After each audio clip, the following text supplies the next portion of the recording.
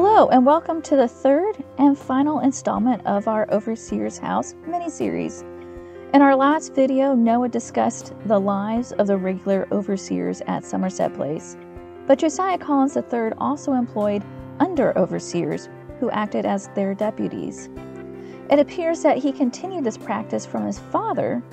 We have records of four under overseers who worked at Somerset Place and lived with their families in one or two rooms of the overseer's house.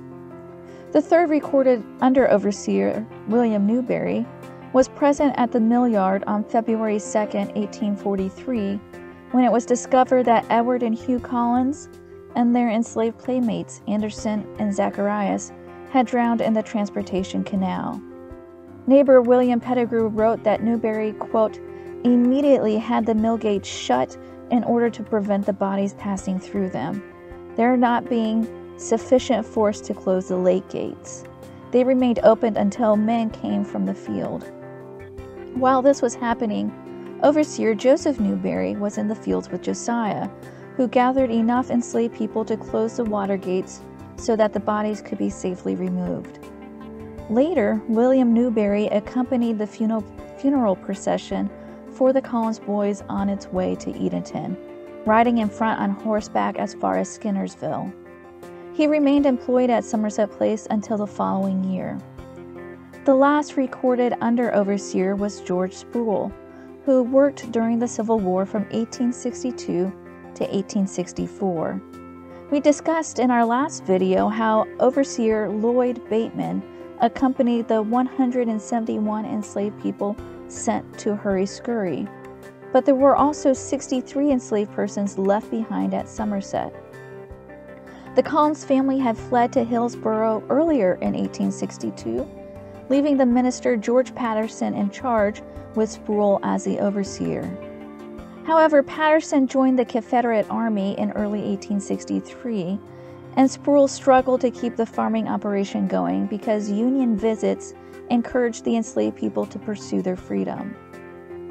Eventually, Spruill could only coerce the enslaved people to stay at Somerset Place. Writing to Josiah in May of 1863 that, quote, they have been taken out of my control. He used, quote, every scheme to keep them here by giving, quote, hogs and cattle to each family. But he also documented that, quote, I cannot say a word when the enslaved people took what they wanted and he risked trouble for himself if he so much as bothered them.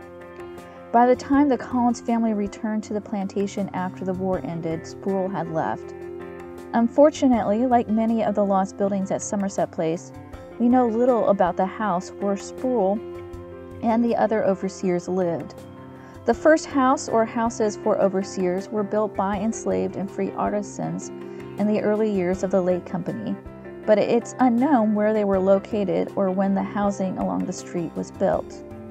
The overseer's house on the street first appeared in the 1839 inventory, which lists simple and sparse furnishings, including three bedroom suites, various bed frames and cots, chairs, tables, and tableware.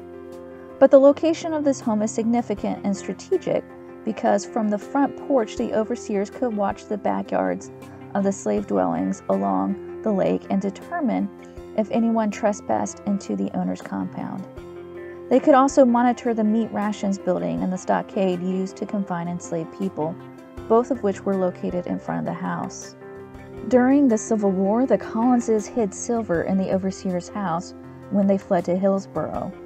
The house itself remained occupied after the war, with an 1885 resident recalling later that it was used as a tenant house at that time. However, the structure was gone by 1943 when officials with Pettigrew State Park documented its location. William Tarleton excavated the structure in 1952 as part of his archaeological work and discovered the foundation was intact. You can see a portion of the exposed foundation in this photo negative. He concluded that the house was 20 by 32 feet with a 10 foot porch across the front and documented that it, quote, was a story and a half building of four rooms with a gambrel roof, a large chimney on the east end, and a shed porch on the front side, two doors open from the porch to the interior. Tarleton also heard testimonial evidence that indicated the existence of a detached kitchen, likely built by post war residents. It stood about 50 feet off the northwest corner of the house.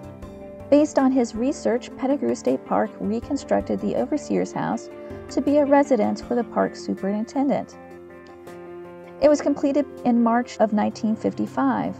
But unlike the other reconstructed buildings on our site, this house is conjectural and has a 1950s interior layout.